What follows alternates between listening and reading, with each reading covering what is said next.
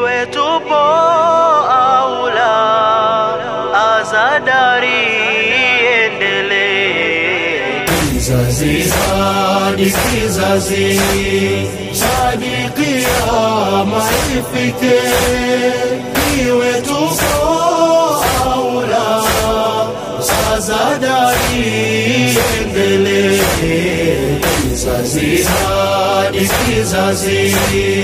Dunia tena يا أبا عبد الله السلام عليك يا ابن رسول الله ورحمة الله تعالى وبركاته إنا لله وإنا إليه راجعون رضا بقضائه وتسليما لأمره wazee wangu watukufu watoto zangu kina mama na kina baba adhama الله ujurana وأجوركم بمصابنا bimusabina الحسين المظلوم lkarbala wazee wangu watoto zangu nitakwenda kidogo mbali na maudhui ya hii ya leo inahusika na siku ya ashura. Lakini ndiyo siku ya kupeana nasaha na siku ya kuambizana makwe, ya ukweli na kuambizana kwamba tuna matatizo gani katika nchi yetu na dunia nzima. Leo wazazi wametupwa na watoto. Na mwenyezi mungu katika qurani anasema wabilwalidaini ihsana. Tuwafanyie wema wazazi wetu wawili baba na mama. Leo watoto wanawawacha wazazi na wazazi wameshughulika na dunia. Watoto wanaharibika mashuleni watoto wanaharibika katika mambo ya maasi. Wanavuta bangi wanakula mirungi wanakunywa wanakula cocaine sisi wajibu wetu nini wazazi ni muhimu sana kuwaangalia watoto wao kama imam husein na imam hasan alaihi ssalam walivyolelewa na bibi fatimata zahra na imam ali alaihi ssalam tutaona kwamba leo tuna matunda ndio haya haya ni matunda ya imam husein labbaik ya husein labbaik ya husein kwa hivyo dunia imeharibika sasa hivi watu wanataka kusema kwamba tuwe na ndoa ya jinsia moja ambayo sisi wafuasi wa ahlulbeit na sisi wa tanzania tunamwambia mama yetu mama yetu samia suluhu hassan kwamba tunaungana na wewe na utuunge mkono sisi wa tanzania wote kwamba tunapinga ulawiti tunapinga ndoa za jinsia moja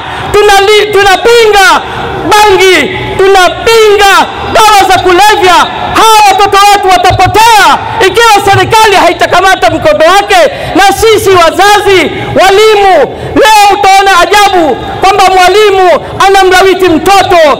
Mashehe wanafanya maasi katika madarasa ma, ma, wakanisani, hali kadhalika kila mahala ambapo watu wanakusanyika wanatendewa vibaya.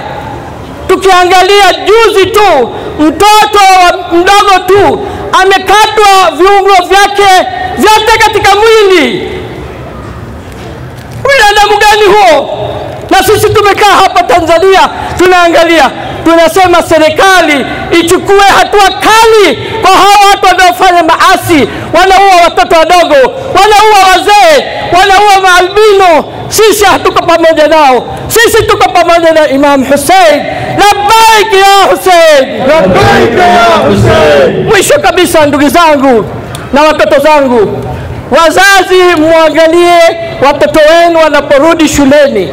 Msiwaache kama wanakuja kuchelewa hamwaangalii watoto wanaharibiwa wanakwenda mashuleni wanafanya maasi wanafundishwa. Wanafundishwa. Kuna watu wanalipwa walimu. Wanafundishwa wafanyie maasi wafanyie ndoa za jinsia moja na wafanyie mambo ya kulawiti. Kwa hivyo naomba kwa siku hii ya leo tukufu wote pamoja tuombe kwa mwenyezi mungu. Watu wote wanaofanya vibaya mungu inshallah awanusuru ili wasitunusuru sisi wasiwaharibu watoto wetu. Semeni amin. Tuombe pia kwa mwenyezi mungu siku ya leo. Tutake amani tanzania yetu. Tupate umoja na tushirikiane na tumuombe mwenyezi mungu. Huko duniani kuna vita watoto wanauawa watu wanauliwa na nini tutafanya sisi sisi ni kwamba lazima tuwaombee dua. Kwa hivyo ninaomba wote kwa pamoja muonyeshe mkono, tuseme ya Mahdi, ya Mahdi ajil ala zuhuri, ajil ala zuhuri. ya Imam Mahdi, njoo. Hali ya dunia imechafuka, maasi imekuwa mengi, watoto wanadhulumiwa, wananchi wanapata shida, wazee wanadhulumiwa, wanapata tabu, watu wote duniani wana shida, wanauawa. Kwa hivyo siku ya leo tunamwomba Mwenyezi Mungu alete baraka, alete neema Tanzania yetu, alete mvua za kheri, watu wote waishi kwa amani na upendo, kushirikiana. اللهم صل على محمد وآل محمد اللهم إنا نرغب إليك في دولة كريمة تعز بها الإسلام وأهله وتذل بها النفاق وأهله وتجعلنا فيها من الدعاة إلى طاعتك والقادة إلى سبيلك وترزقنا بها كرامة الدنيا والآخرة. لبيك يا حسين. لبيك يا حسين. لبيك يا حسين. لبيك يا حسين. لبيك يا حسين. لبيك يا لعنة الله على القوم الظالمين وسيعلمن الذين ظلموا أي منقلب ينقلبون ولا حول ولا قوة إلا بالله